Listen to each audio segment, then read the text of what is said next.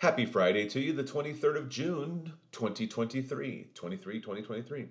Anyway, easy for you. Faith Pocatello daily here. Psalm 111, verse 2. Great are the works of the Lord, studied by all who delight in them. So, do we look at the works of the Lord and go, oh, let me study it and see the majesty of God?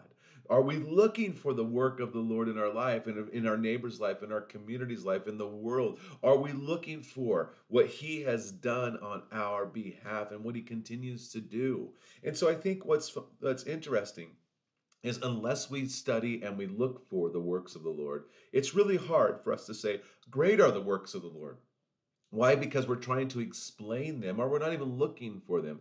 I want to challenge you this day. Take a moment and pause and maybe make it a routine to sit there and go, Lord, let me ponder your works. Just as simple as looking at the heavens, looking at the clouds, just as simple as looking at where you live, looking at the at, at the provision that he has for you. Great are the works of the Lord because he has given you everything and you deserve nothing.